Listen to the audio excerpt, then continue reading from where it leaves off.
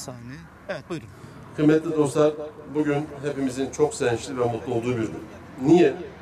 Suriye'de ekmek bulamayan, açlıktan yüzleri sararmış insanlara bir nebze de olsa yardımcı olmak amacıyla Hatay'dan bugün elhamdülillah sizlerin destekleriyle ve tüm Türkiye'den bize yap- yapılan bağışlarla üç tür yardım tirimizi hazırladık ve onları buradan göndermek istiyoruz. Ben Türkiye'den bize bağış yapan ve Hatay'dan bağış yapan tüm gönüllü dostlarımıza teşekkür ediyorum.